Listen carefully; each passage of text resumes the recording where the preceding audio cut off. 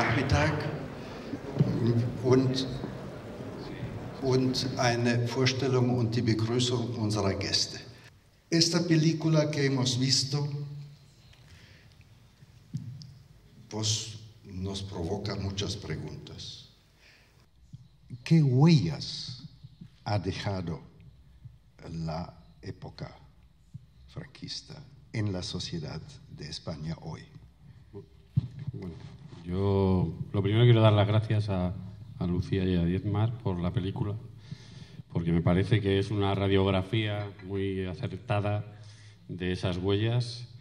Y yo personalmente creo que España es un país que no tuvo una reunificación, quiero decir, una reunificación social, donde gente que participó en la construcción de esa dictadura ha muerto condecorada como demócrata y donde personas como mi abuelo, que querían un país con elecciones libres, han permanecido muchos años en una cuneta. Yo creo que eso representa perfectamente la fractura que hay en la cultura política española, que sigue absolutamente vigente. Quienes tuvieron privilegios gracias al uso de la violencia siguen teniendo una posición predominante en la sociedad española.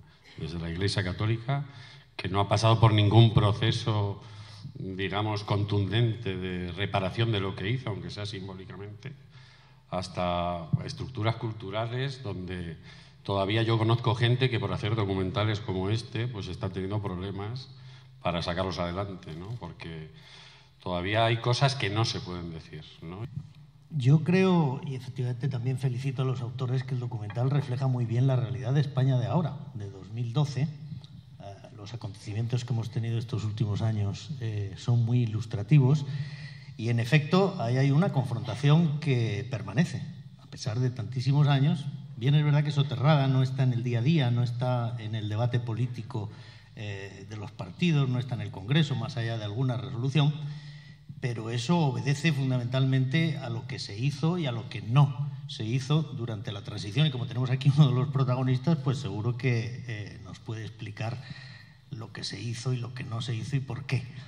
Entonces, la España de hoy es hija de lo que se hizo en esa transición y también de lo que no se hizo. No hubo una comisión de la verdad, no se estableció eh, cuáles eran los hechos históricos y por eso en una encuesta muy reciente el 50% de los españoles, que parece mentira, sigue pensando que Franco era un hombre de paz, según rezaba la encuesta, que trajo orden y desarrollo. Bueno, pero es así, eso es la realidad. Eh, pues porque no hubo una comisión de la verdad que estableció qué era lo que había pasado. Y lo que había pasado es que la represión española era de las peores del mundo comparativamente. Nosotros tenemos 115.000 desaparecidos frente a la dictadura argentina que tiene oficialmente 9.000 y según los grupos de derechos humanos 30.000 y Pinochet tiene 1.200 desaparecidos. Aquí estamos hablando de 115.000, para que nos hagamos una idea. La otra cuestión es ahora mismo. Eh, las víctimas, mal que bien, han sido capaces de eh, llevar hasta Estrasburgo 12 demandas por, por, violaciones de derechos humanos del franquismo o por violaciones de derechos humanos del Estado que no es capaz de ajustar cuentas, sobre todo en el ámbito judicial, con el franquismo. Las 12 han sido inadmitidas por el Tribunal Europeo, diciéndole a las víctimas que han tardado demasiado. Pero bueno, deberían ver el documental. Yo invito a los autores que lo expongan en Estrasburgo y se lo pongan al tribunal incluso como prueba eh, para que entiendan cuál es esa evolución. Aunque se ven ya un poco de diferencias, hay que decir que seguro tendremos más pleito aquí arriba si estará el cuarto invitado, que era Fernando Suárez González.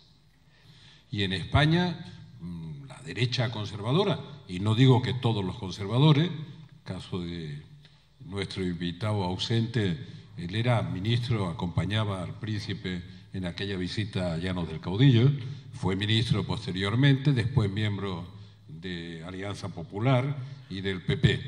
Pero la derecha española nunca ha aceptado que Franco llegó al poder mediante un golpe de Estado que provoca una guerra civil o incivil, como la califico ahí en, en la entrevista, que produce centenares de miles de muertos y de exiliados eh, políticos en España. Eso no lo ha aceptado nunca.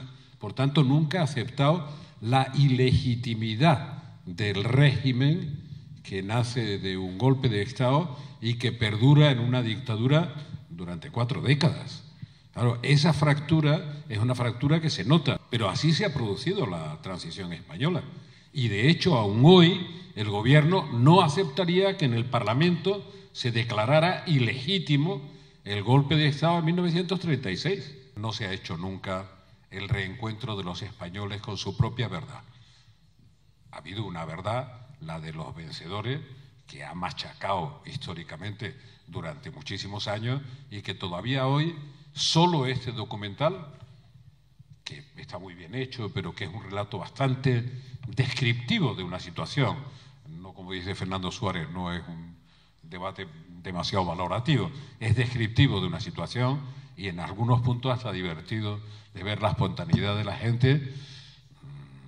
Este, este documental, eh, recorriendo España, sorprenderá a mucha gente, porque nadie, nadie se va a encontrar eh, con la sorpresa de una realidad como los pueblos de colonización que yo conocí muy bien.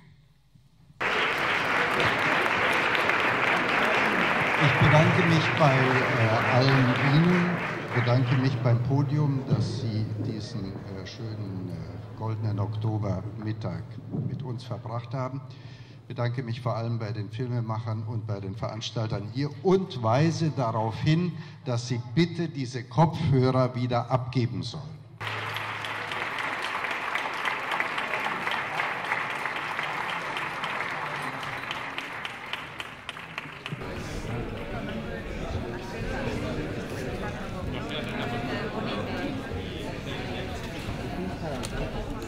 Adelante.